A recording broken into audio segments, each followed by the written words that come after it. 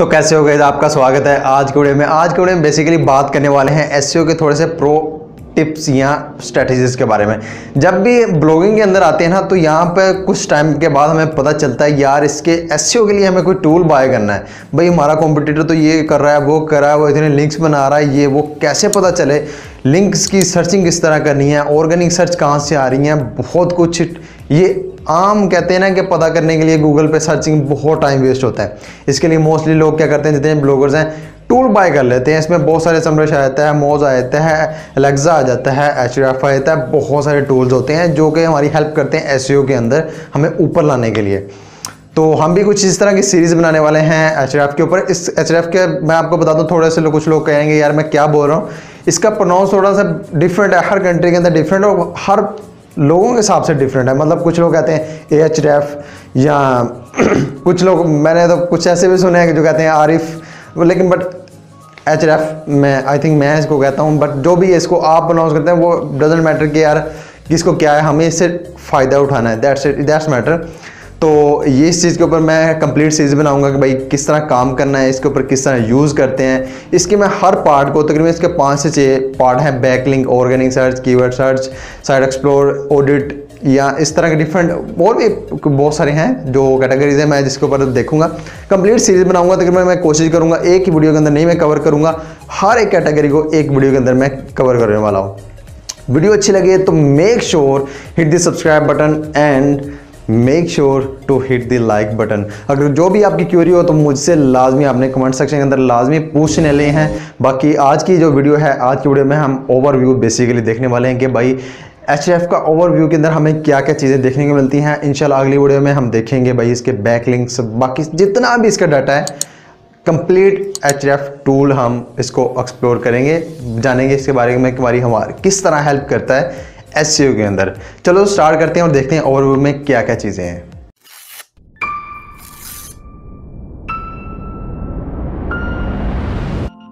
Okay okay, well well, यहाँ पर आप देख सकते हैं हम पहुँच चुके हैं एच टूल की साइट के ऊपर। आपको भी सबसे पहले तो इसको टूल को बाय करना पड़ेगा क्योंकि ये प्रीमियम और प्रो टूल्स हैं। ये इसको आपको ट्रायल्स भी मिल जाते हैं बट आपको ज़ाहिर सी बात है फुल फ़ंक्शन के लिए आपको बाय करना पड़ेगा। यहाँ पर मैं लॉगिन करता हूँ। सबसे पहले जब लॉगिन करेंगे तो आपको यहाँ पर प्रोजेक्ट ऐड करने का बोलेगा।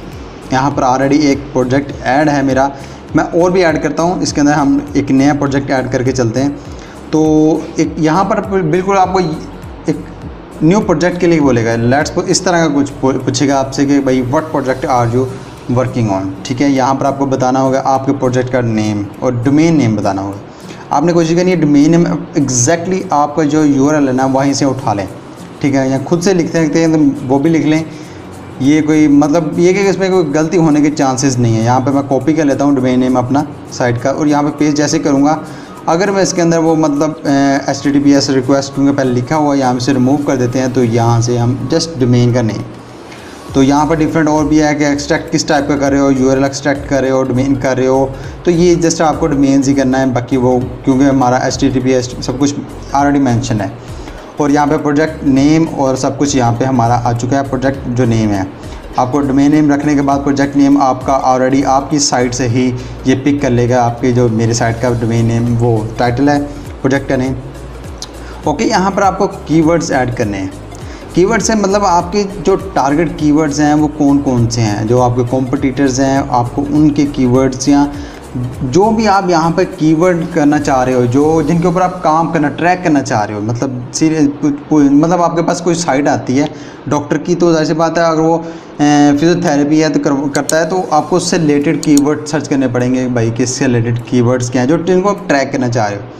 तो यहाँ पर जैसे मेरा ऑनलाइन अर्निंग से रिलेटेड है एस से रिलेटेड है डिजिटल से मार्केटिंग से रिलेटेड तो मैं उस टाइप की कीवर्ड लिखूँगा। यहाँ पर आई थिंक आपको समय लगी होगी कि आपको क्या चूज़ करना है।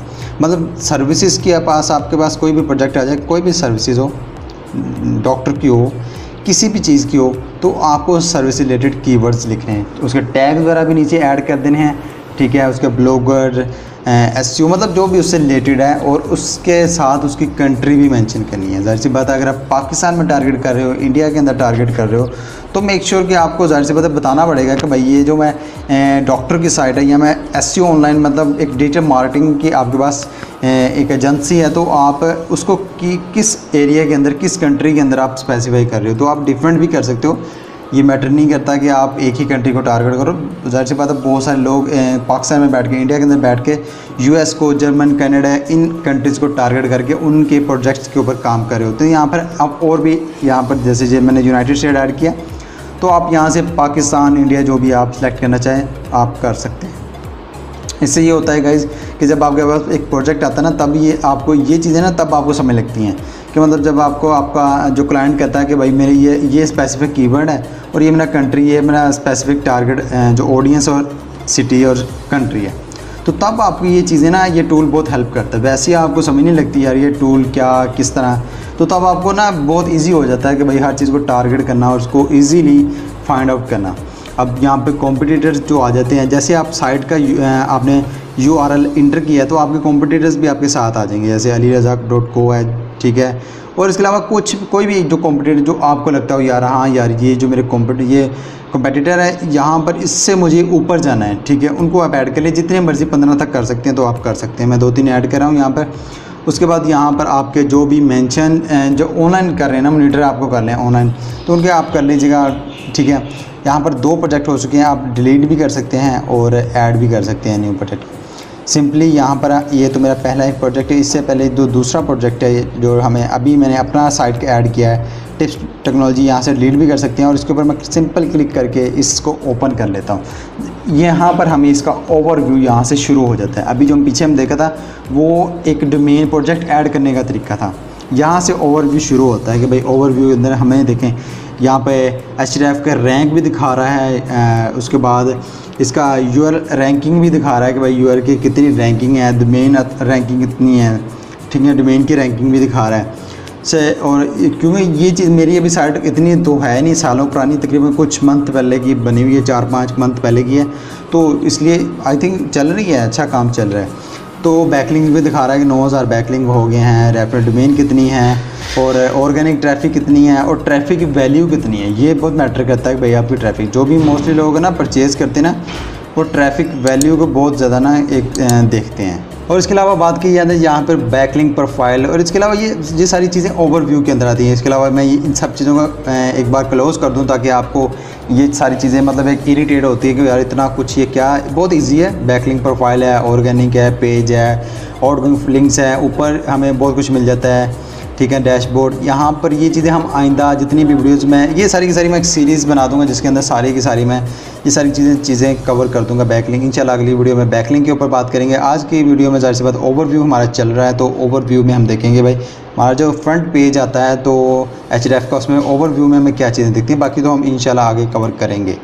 सबसे पहले बैकलिंग प्रोफ़ाइल बैकलिंग के भाई, आपकी जो साइट की बैकलिंग अथॉरिटी है, जो मेन अथॉरिटी बनती है, वो भाई कैसे आपकी इंक्रीज़ हो रही है, कहाँ हो रही है, ये सारी चीज़ें डेट का है, क्या डेट है, उसके अलावा सारा कुछ यहाँ पे हमें मिलता है। क्रोल कितने क्रोल पेजेस हो रहे हैं डू फॉलो कितने यहाँ पे देखने को मिलते हैं। रेफरिंग डोमेन कितनी है, और इसके अलावा जितनी भी एजुकेशन डोमेन से कितने आ रहे हैं dot net dot O R G ये सारे हमें यहाँ पर बैकलिंग अभी हमें बैकलिंग प्रोफ़ाइल देख रहे हैं।